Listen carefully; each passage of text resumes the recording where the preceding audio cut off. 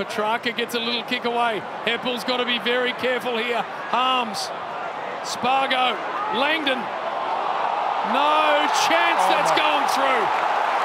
Unbelievable.